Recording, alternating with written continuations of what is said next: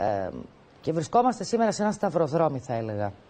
Ποια είναι η δική σας εκτίμηση; Η δική μου η εκτίμηση είναι ότι πρέπει να μην κάνουμε πίσω από την αποδοχή της λύσης Ομοσπονδίας, της Ζωνικής Κοινοτικής Ομοσπονδίας και να εργαστούμε σκληρά ώστε να βρεθούν λύσεις μεταξύ των Ελληνοκυπρίων και των Τουρκοκυπρίων στο τραπέζι των διαπραγματεύσεων. Αυτό το κατα, καταβάλλεται αυτή η προσπάθεια, φαίνεται ότι δεν φέρνει το αποτέλεσμα που θα επιθυμούσε κανείς. Φαίνεται ότι είμαστε πολύ κοντά στο αποτέλεσμα, αλλά δυστυχώς κάτι συνέβη, το οποίο κάτι διερευνώ εγώ ακόμα τουλάχιστον. Δηλαδή; Ε, εννοώ και την Τουρκία, εννοώ και τον κύριο Ακετζή, εννοώ ίσως και εμάς με έναν τρόπο. Κάτι συνέβη όπου υπήρξε η παναχώρηση. Για παράδειγμα, μιλώντας και με κάποιο φίλο σε ραδιόφωνο, του είπα ότι εγώ διαρωτώ με γιατί μια από τις βασικές συγκλήσεις δεν έγινε αποδεκτή από τον πρόεδρο Αναστασιάδη με αντάλλαγμα κιόλας. Η εκπεριτροπής. Βεβαίως, η εκπεριτροπής. Mm. Η οποία εγώ θεωρώ, αν το ολοκληρωμένο πακέτο όπως το είχαμε προτείνει και καταλήξαμε με το Ταλάτ, είναι πολύ καλύτερο από το σχέδιο ΑΝΑΝ. Για παράδειγμα. Το οποίο όταν ο αείμνηστος Στάσο Παπαδόπουλος έστειλε τον κύριο Τζονί και τον Ανδρέα τον Μαυρογιάννη στο Πρέθεργαστ στη Νέα Νιόρκη να συνομιλήσουν για το σχέδιο ΑΝΑΝ με διάφορες παρατηρήσεις δικές μας όταν ρωτήθηκε από μέλος του Εθνικού Συμβουλίου γιατί δεν περιλαμβάνεται και στις αλλαγές που ζητούμε η εκπεριτροπής Προεδρία και ο πρόεδρος Παπαδόπουλος απάντησε ότι δεν έχω κάτι καλύτερο να προτείνω. Ναι. Ε, επειδή αναφερθήκατε, κάνετε λέτε και έρευνα για να δείτε τι ακριβώς συνέβη, τι μεσολάβησε από το πρώτο στο δεύτερο Μομπελεράν. Ε, θέτω το εξής ενώπιόν σας. Τελικά ο Ακιντζή μία από τα ίδια; Όχι. Δεν πιστεύω ότι ο Ακιντζή είναι μία από τα ίδια.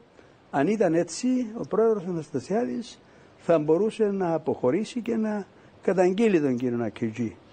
Θεωρώ ότι μέχρι πρόσφατα υπήρξε αλληλοκατανόηση μεταξύ των δύο ηγετών και κάτι συνέβη με βεβαίως πρωταγωνιστή ίσως στην Τουρκία. Φτάσαμε την ώρα που πρέπει να μιλήσει η Τουρκία όμως κύριε Πρόεδρε. Ε, έπρεπε να μιλήσει η Τουρκία αλλά δεν ξέρω αν και εμείς ε, τηρήσαμε αυτό το οποίο θα έπρεπε να τηρήσουμε δηλαδή να φτάσουμε σε ακτίνα συμφωνίας στα της εσωτερικής διακυβέρνησης και μετά να καταλήξουμε στην διάσκεψη.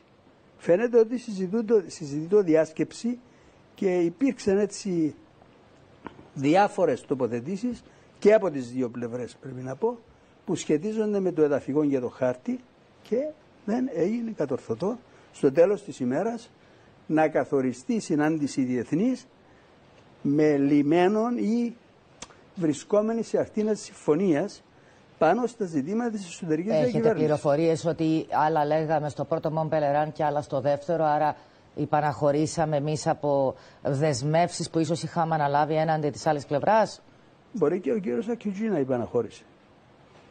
Και τώρα έγινε μια προσπάθεια blame game.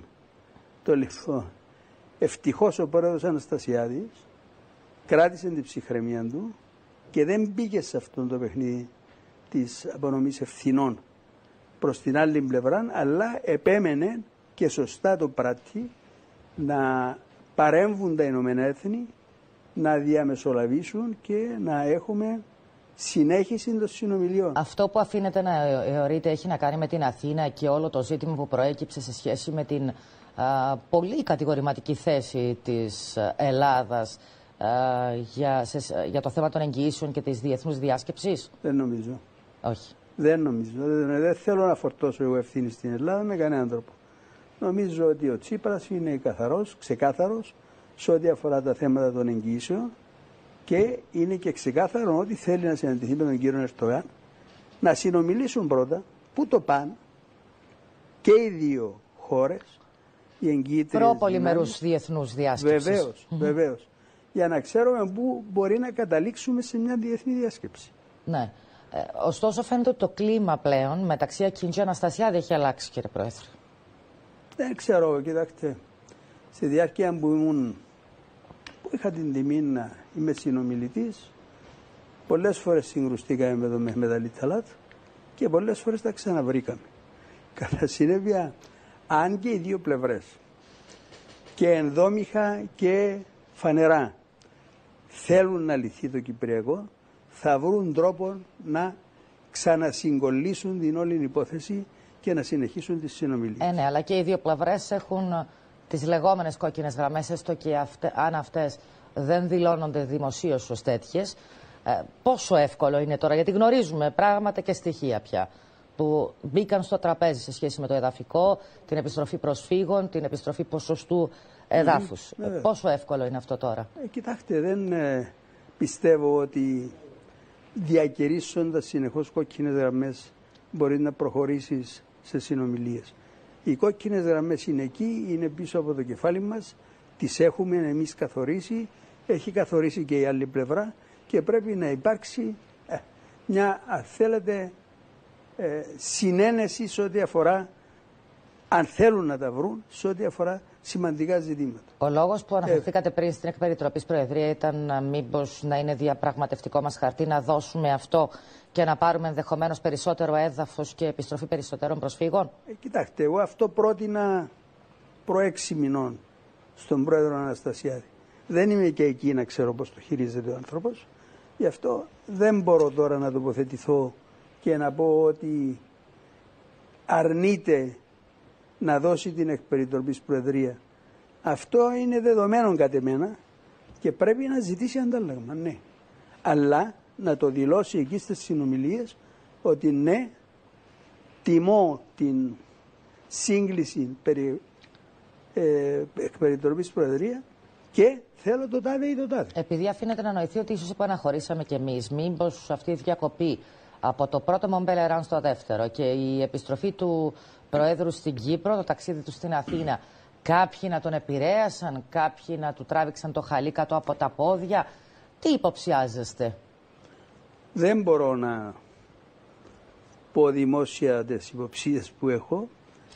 Είπα ότι διερευνώ και πέραν τούτου δεν θέλω να εκτροχιαστούμε την ώρα που γίνονται προσπάθειες και από τον Πρόεδρο και από την Ελλάδα και από τα Ηνωμένα Έθνη να επαναρχίσει ο διάλογος. Ωστόσο αυτό που ρωτώ δεν μου το αποκλείεται. Ε, τίποτε δεν αποκλείεται. Συνομιλίες είναι αυτές.